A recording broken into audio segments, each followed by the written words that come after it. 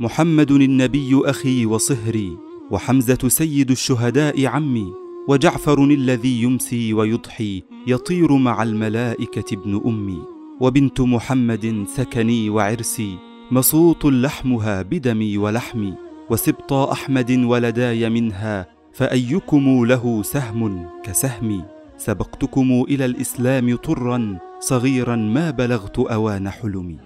إنه فارس الإسلام وابنه الأول الخليفة الراشد أمير المؤمنين علي بن أبي طالب ابن عبد المطلب القرشي الهاشمي. ابن عم النبي صلى الله عليه وسلم وصهره لو لم يكن له سوى نسبه لكفى. لكن هذا الرجل قد جمع من شتى الفضائل ما يصعب أن تجتمع في رجل واحد. فحسبك بالشجاعة والتضحية والقوة وحسبك بالعلم والفطنة والحكمة وحسبك بالعبادة والزهد والعفة وعد ما شئت ولا حرج. فلا عجب من ذلك إذا كان المربي هو رسول الله صلى الله عليه وسلم الذي قال لعلي يوما أما ترضى أن تكون مني بمنزلة هارون من موسى إلا إنه لا نبي بعدي. ومعلوم أن علي أحد العشرة المبشرين بالجنة فهيا بنا نمر سريعا على حياة ذلك الرجل الفريد بشيء من الإيجاز المفيد. ولد رضي الله عنه قبل البعثة بعشر سنوات تقريبا فكان بينه وبين النبي ثلاثون سنة. اشتهر أنه ولد في جوف الكعبة ولكن هذا لم تثبت صحته. وأمه هي فاطمة بنت أسد رضي الله عنها. وذكر أنها أرادت أن تسميه اسدا أو حيدرة على اسم أبيها. وحيدرة هذا اسم من أسماء الأسد. وكان أبو طالب حينئذ خارج البيت. فلما عاد سماه علي فاشتهر بهذا الاسم وكان أهلا له وسواء علي أو حيدرة فهو أهل لكليهما. وكانت فاطمة بنت أسد بمثابة أم للنبي محمد وكان يحبها حبا شديدا فإنه صلى الله عليه وسلم بعدما أصبح يتيم الأب والأم أخذه عمه أبو طالب وتولى رعايته هو وزوجته فاطمة حتى شب عليه الصلاة والسلام. ومرت السنين وأصاب مكة قحط شديد أثر على فقرائهم خاصة. فقال رسول الله صلى الله عليه وسلم لعمه العباس وكان ميسور الحال يا عباس إن أخاك أبا طالب كثير العيال وقد أصاب الناس ما ترى من هذه الأزمة فانطلق بنا فلنخفف عنه من عياله آخذ رجلا وتأخذ رجلا فنكفهما عنه. فانطلقا حتى أتيا أبا طالب. وانتهى الأمر بأن أخذ العباس جعفرا وفاز علي برسول الله صلى الله عليه وسلم وبزوجته الفاضلة الكاملة خديجة رضي الله عنها. وهكذا كان يحفظ رسول الله صلى الله عليه وسلم الجميل للناس ويرد لهم ما استطاع. لئن كنت قد صدقتني يا ابن أخي فانه الناموس الذي أنزل على موسى بن عمران. ليتني أكون حيا عندما يخرجك قومك ولئن أدركني يومك لأنصرنك نصرا مؤزرا. كان علي أول من أسلم من الصبيان إن لم يكن أول من أسلم من الذكور عموما حيث كان يكتم إيمانه خوفا من أبيه في حين أظهر البعض إسلامه وأعلنه كأبي بكر الصديق رضي الله عنه. وأشهر الأقوال أنه أسلم وهو ابن عشر سنوات فلم يكن جرى عليه القلم وما سجد يوما لصنم فكان خير شباب قومه وأكثرهم جرأة وإقداما. وجاء في قصة إسلامه رضي الله عنه أنه دخل على النبي صلى الله عليه وسلم وزوجته خديجة رضي الله عنها فرآهما يصليان فاستغرب ذلك وسأل النبي صلى الله عليه وسلم فأخبره بأمر الإسلام وبأنه مرسل بهذا الدين من عند الله تعالى والذي يدعو فيه إلى التوحيد وترك عبادة ما سواه.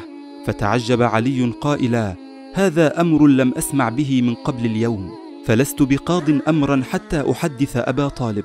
وكره رسول الله صلى الله عليه وسلم أن يفشي سره قبل أن يستعلن أمره فقال له يا علي إذا لم تسلم فاكتم. فانصرف علي ثم جاء في اليوم التالي وقد وقع الإسلام في قلبه فأسلم وكتم إسلامه. فكان يصلي مع الرسول خفية ويستمع للقرآن ويتردد على دار الأرقم التي كانت مقر الدعوة السرية في تلك الفترة. وظل يكتم إسلامه إلى أن اطلع أبوه على أمره فأمره بالثبات عليه وملازمة ابن عمه محمد فأظهر علي إسلامه حينئذ.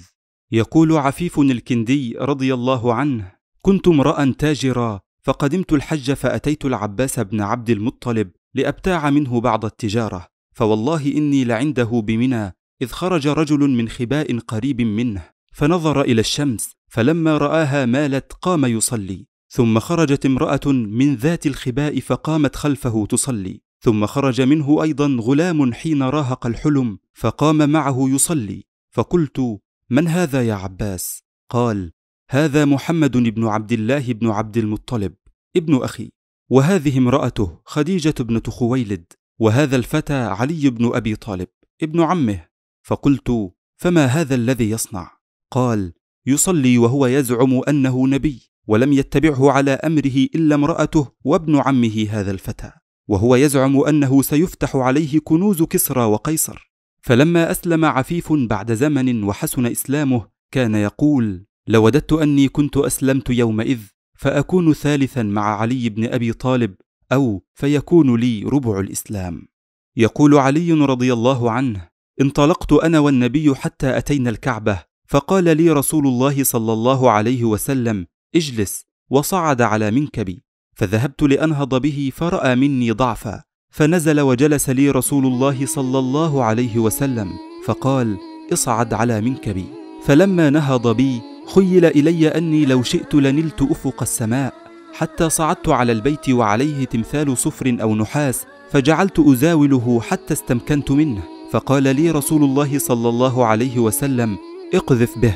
فقذفت به فتكسر كما تتكسر القوارير. ثم نزلت فانطلقت أنا ورسول الله صلى الله عليه وسلم نستبق حتى توارينا بالبيوت خشية أن يلقانا أحد من الناس. فلم يوضع عليها بعد شيئا من تلك الأصنام.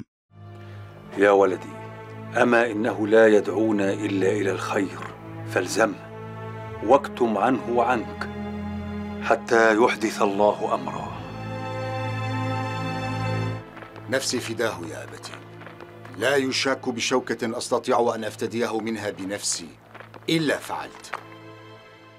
وقد كلف النبي صلى الله عليه وسلم عليا بمهمة عظيمة تدل على ثقة كبيرة كما تدل على نباهة وفطنة مبكرة كانت في ذلك الفتى للدرجة التي يستأمنه النبي على قضية كبيرة كهذه وفي أشد الأوقات حرجا.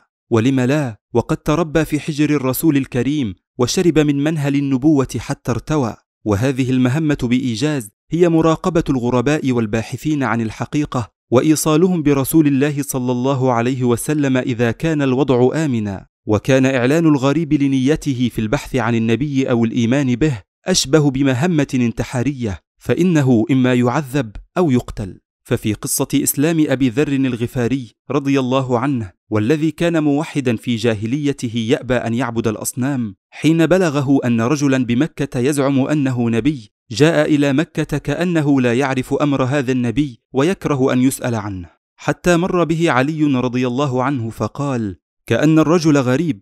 فقال أبو ذر نعم. فانطلق به علي إلى منزل يسكنه. لا يسأل أحدهم الآخر على شيء ولا يخبره. فلما أصبح أبو ذر أخذ يسأل بعض الناس خفية عن أمر ذلك الرجل الذي يزعم أنه نبي فلم يخبره أحد بشيء. فمر به علي مرة أخرى في يومه الثالث فقال أما آن للرجل أن يعرف منزله بعد؟ فقال أبو ذر لا. فانطلق به علي إلى منزل أيضا وبينما هما في الطريق سأله علي ما أقدمك هذه البلدة؟ فقال أبو ذر إن كتمت عني وأرشدتني أخبرتك. قال علي فإني أفعل. قال بلغنا أنه قد خرج هاهنا رجل يزعم أنه نبي فأردت أن ألقاه. فقال علي أما إنك قد رشدت هذا وجهي إليه فاتبعني ادخل حيث أدخل فإني إن رأيت أحدا أخافه عليك قمت إلى الحائط كأني أصلح نعلي وامض أنت. وهذا يدل على حسن دراسة وتخطيط وتقدير لخطورة الموقف. فمضى علي وتبعه أبو ذر حتى اتي النبي صلى الله عليه وسلم فعرض النبي الإسلام على أبي ذر فأسلم في وقته رضي الله عنه. ومرت سنوات حتى شب علي وبلغ العشرين أو يزيد قليلا. ثم عزم رسول الله صلى الله عليه وسلم على الهجرة فلم يعد له في مكة قرار. فقد توفي عمه أبو طالب الذي كان الحائل الرئيسي بينه وبين أذى المشركين. وتوفيت زوجته خديجة رضي الله عنها التي كانت تواسيه بنفسها ومالها فيما عرف بعام الحزن. حتى أهل الطائف الذين ذهب إليهم النبي صلى الله عليه وسلم طلبا للنصرة خذلوه وآذوه بالقول والفعل وطردوه بأبي هو وأمي. ولا شك أن الأمر كان صعبا على علي أيضا. فقد مات والده وماتت أمه الثانية المربية خديجة رضي الله عنها. فتجرأ سادة مكة على إيذاء النبي والنيل من أصحابه ربما أشد مما كان في بادئ البعثة. فكانت يثرب هي المستقر الآمن والمناسب لنشر الدعوة وقد كان لأهل مكة أمانات عند النبي صلى الله عليه وسلم فأمر عليا أن ينام مكانه في فراشه في اليوم الذي نوى فيه الهجرة سرا إلى يثرب وذلك ليرد الأمانات إلى أصحابها. فأبدى علي استعداده والتحف بردة النبي صلى الله عليه وسلم ونام مكانه رغم أنه يعلم بالمخاطرة ولعل النبي طمأنه أنه لن يمسه سوء. ولما حاصر زعماء مكة بيت النبي صلى الله عليه وسلم يريدون قتله أعمى الله عز وجل أبصارهم وخرج من بينهم آمنا. وكاد القوم أن يقتلوا عليا ظنا منهم أنه النبي عليه الصلاة والسلام. ولما تفاجأوا بوجود علي اشتد غضبهم فقال أحدهم قسما لاقتلن عليا فرد عليه آخر وقال لو كان لنا ألف حجة لقتل محمد ما حجتنا لقتل علي؟ ثم انصرفوا يبحثون عن النبي صلى الله عليه وسلم فبقي علي في مكة ثلاثة أيام يؤدي الأمانات إلى الناس فقد كانوا يستأمنون النبي صلى الله عليه وسلم على أماناتهم حتى وهم أعداؤه فهو الصادق الأمين علي من ظننت؟ محمد أين محمد؟ وأنت كنت في فراشه؟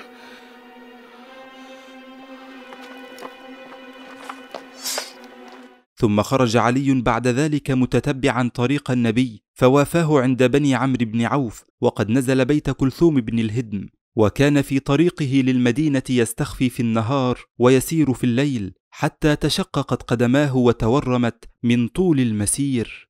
وذكر أن النبي صلى الله عليه وسلم لما بلغه قدوم علي قال ادعوا لي عليا قيل يا رسول الله لا يقدر أن يمشي فأتاه النبي صلى الله عليه وسلم فلما رآه اعتنقه وبكى رحمة لما بقدميه من الورم وكانتا تقطران دما. فتفل النبي صلى الله عليه وسلم في يديه ومسح بهما رجليه ودعا له بالعافية فلم يشتكهما علي حتى استشهد رضي الله عنه. ولما آخى رسول الله صلى الله عليه وسلم بين المهاجرين والأنصار أخذ بيد علي فقال هذا أخي. هذا أخي هذا أخي هذا أخي عمر علي حبيب رسول الله وابن عمه وأخوه ما حال قدميك؟ ألم تجد ركوبا تحملك؟ قد أعانني الله وحملتني قدماي لله درك لله درك يا ابن عم رسول الله